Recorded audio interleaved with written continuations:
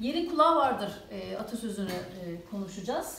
Yerin kulağı vardır deyince ne anlıyoruz? Yerin Aklımıza kulağı vardır deyince genelde kulakları eşek kulakları e, bu hikaye...